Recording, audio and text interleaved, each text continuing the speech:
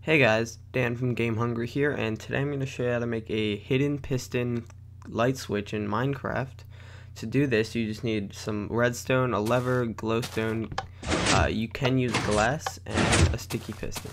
As you can see, there's a space in the middle and a glowstone on the other side with glass in front.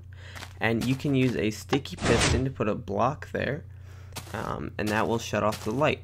So as you can see, I have a redstone here that's connected to a piston. So by default, the piston is on and pushed a block in front of the glowstone so you can't see it, see the light. And then uh, once you hit the lever, it goes down here, the redstone, and shuts off all those torches, uh, meaning the piston will pull back and you have light. So you can use this in a whole bunch of different ways. You can have it on the walls like this and you can have different spacing as you can see three is the probably smallest you can get doing it like that here's just a little example but you can do any other size so as you can see the most efficient way of doing this would probably be putting them in the ground like this and it lights up better